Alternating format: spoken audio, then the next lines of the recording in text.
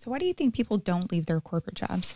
Do you think Oh. it's fear? Is that a fear-based thing or a confidence thing, not believing I in themselves? Yeah, I think it's definitely um, both. So uh, you have your, so I like to call these myths, and essentially they're your own limiting beliefs that are also amplified by projections of other people's beliefs. So it's like a societal belief.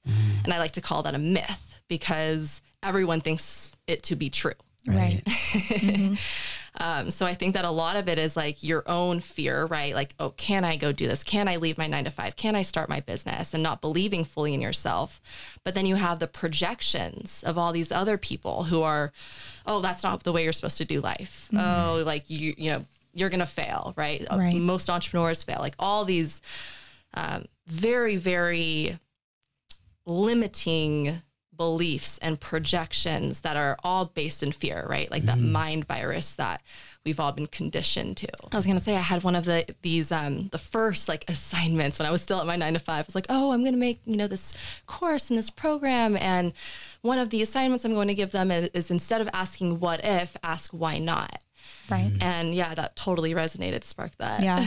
It's almost like that growth mindset. Yeah. You know absolutely. what I mean? And mm-hmm. that's a really, that's a very, very real narrative for especially millennial uh, people, Mhm. right? Because we're clashing with a lot of like the baby boomers, the ones that like grew up more with those sort of like nuclear family um, values. Yeah. And I know that's something that um, a lot of people, especially in my circle, have gone through, which is like, you know, your parents want you to be what they imagine to be a successful position in society, like a doctor or like a salesman or something like that. So right away, when you look at uh, an entrepreneurial type of position, especially in spirituality, they don't understand what that means Yes. you know and uh, we actually talked about this i think in our last episode too jen about like those uh, self lim- those limiting beliefs that we tell ourselves like a lot of people say that you uh, a lot of the narrative that we have as far as us not being able to do something comes from somebody else who at one one point told us the same thing and it becomes this reverberation of negativity Totally. Yeah. you know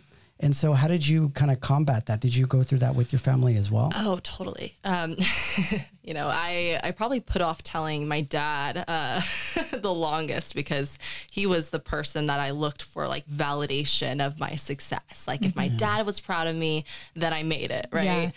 And so that was terrifying to me to tell him that, you know, the daughter he's so proud of, who worked her way up in corporate, she's a leader in her industry, is leaving to do, you know, God knows what. he wasn't really sure. Uh, and neither was I. So when I finally worked up the courage to tell him, you know, he told me I was making the biggest mistake of my life. yeah And um, I think a little bit of it was like, I needed to prove him wrong.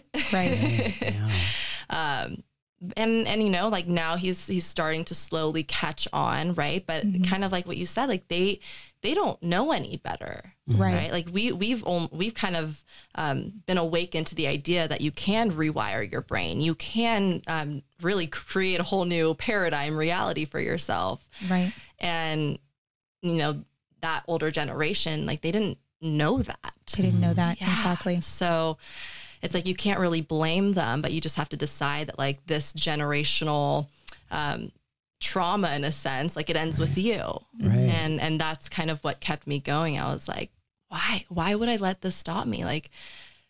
Kind of going back to that question, like, what do I have to lose here? I'm not happy, right? This is kind of my worst case scenario that I'm in right now. Right. So why wouldn't I just at least try? Try. Yeah. And if it doesn't work, I mean, there's always another job out there. Exactly. There's always another company that'll pick you up. Mm-hmm. Exactly. And it makes me when I think of stories like this, I always think of like the the sort of archetypal Buddha because he came from royalty and he could have had anything that he possibly wanted, but he wanted something more.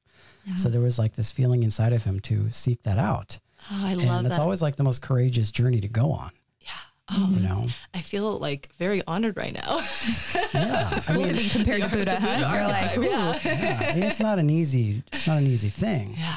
You know but osho says courage is a love affair with the unknown. We don't entirely know uh, especially when we're going down those like such unknown paths where it's going to lead us but you know that there's something more fulfilling going down that that route following your passions Mhm. you know